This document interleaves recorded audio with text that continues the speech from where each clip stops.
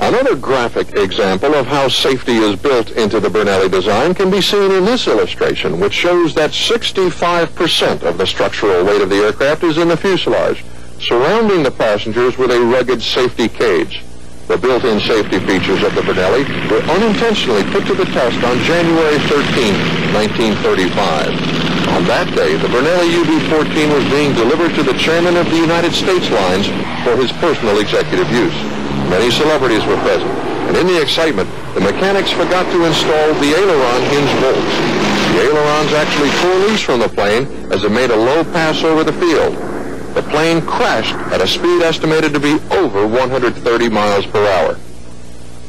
This crash warrants a second look. Certainly an unforgiving way to crash is in this cartwheeling attitude. Burnelli examined the crash. The fuselage remained intact, and the crew walked away from this accident unscathed. There was no fire, even though the high-octane fuel of those days was more flammable than the fuel of today. These interior shots taken just after the crash prove the unparalleled crashworthiness and survivability inherent in the Burnelli design. Norman Golden, an ace Marine fighter pilot who flew combat missions in the Pacific, is an aeronautical engineer and a retired FAA designated engineering representative. He is a staunch critic of current aircraft design and a supporter of the Burnelli lifting fuselage. Well, with the Burnelli having a much greater effective wing area, the uh, stall speed is much lower.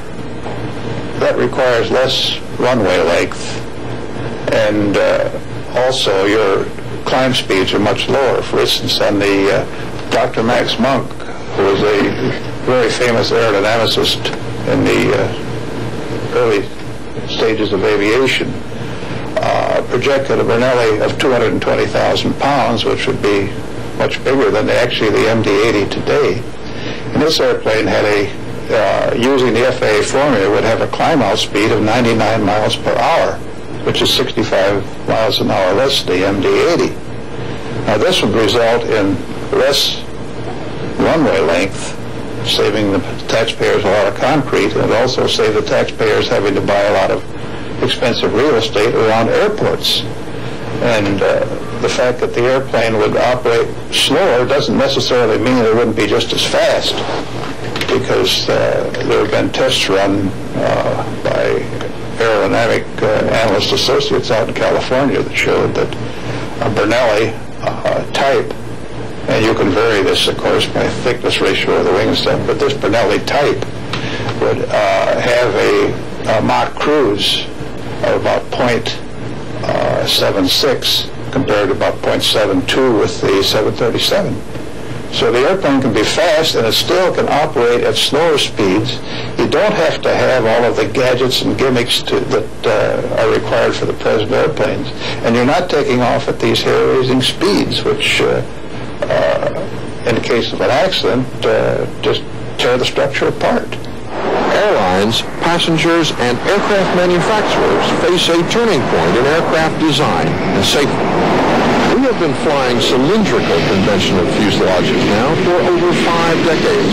It may well be that airframe design and innovation has had a safe, efficient design on the drawing board all along. One of the uh, committees in the House of Representatives has to do with transportation, invited a number of uh, industry executives to uh, present their views of what the future of aviation in the United States was. And Mr. Shoffley, who was vice, still is vice president of uh, Douglas in Santa Monica, uh, presented a picture of an airplane which uh, he called the airplane of the future but which is exactly an airplane that Mr. Burnelli presented 20 to 25 years ago. You, you could practically overlay the airplanes and it looks like they're the same airplane. So what we're calling the airplane in the future now actually has been available for to us for at least a generation.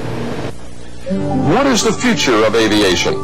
It has been said that those who forget the past are condemned to relive it. Our past includes the inventive genius of Vincent Justus Burnelli. His aircraft patents have been on the drawing boards now over 60 years.